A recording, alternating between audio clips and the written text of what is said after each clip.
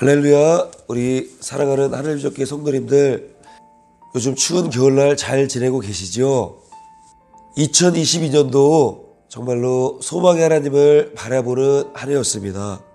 소망의 하나님을 바라보자 라는 그런 말씀으로 영시예배 때 담임 목사님께서 선포하신 말씀 속에서 저는 마음속으로 아, 내 마음속에 절망의 마음이 많았는데 아, 하나님이 주시는 말씀이 너무 귀한 말씀이구나라는 생각을 가지게 되었습니다. 올해는 코로나로 인해서 많이 지쳐 있었고 자신감도 조금 없어졌으며 하지만 그런 절망적인 마음을 뒤로하고 소망의 하나님을 바라본 한 해였습니다. 저는 하늘비적교에서 사역하는 가운데 정말로 하나님의 은혜를 많이 체험한 한 해였습니다. 새벽 찬양을 하며 또 찬양을 부르면서 아 하나님의 말씀에 정말로 이 찬양의 소한 마리를 드린 것보다 귀한 그런 말씀을 체험한 한 해였습니다. 새벽 예배 부른 찬양은 첫 시간을 여는 찬양이니 하나님께서 주시는 그 기쁨은 이루 말할 수가 없었습니다.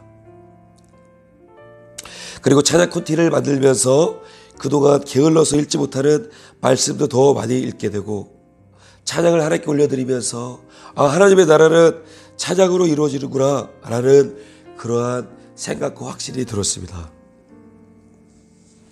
그리고 수요 예배에 윤택의 비밀 또 찬양을 하면서 하나님의 은혜를 체험하는 귀한 한 해였습니다. 저는 토요일, 일요일 날은 토요 소방팀 행복한 예배를 섬기는 사역자인데 저는 장애우들에게서 또 많은 또 귀한 귀중함을 발견한 한 해였던 것 같습니다. 코로나 시절 전에는 학생들이 많이 있어서 한 사람 한 사람의 귀중함을 몰랐지만 코로나로 인해서 대면 예배가 안 될 때도 있고 학생들이 많이 교회에 나오지 못하면서 저는 그 학생들 한 사람 한 사람의 귀중함을 체험한 한 해였습니다. 그러면서 어떤 학생은 편지 속에서 저에게 편지를 보낸 학생이 있었는데 그 편지 속에서 운율과 리듬과 소중한 글씨체를 발견하고 어떤 학생은 교회 봉사를 할 때에 일반인보다 더 뛰어난 천재적인 그러한 것들을 발견도 했습니다. 그리고 하나님을 찬양하는 모습을 보면서 비록 음정과 박자는 조금 부족할지라도 그 하나님에 대한 마음들을 발견한 한 해였습니다. 그러한 것들을 발견했을 때, 아, 정말로 이 행복한 예배 토요소박팀 학생들도 하나님 나라의 귀중한 백성이구나. 그런 것들을 발견하였습니다.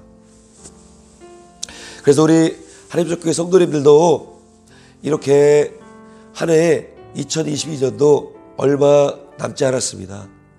하나님의 말씀을 통해서 예수님을 찾아가는 그러한 어, 하나님의 은혜 속에서 한 해를 잘 마무리하는 그런 귀한 2022년이 되었으면 좋겠습니다.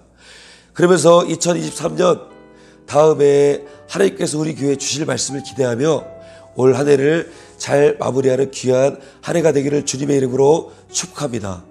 감사합니다.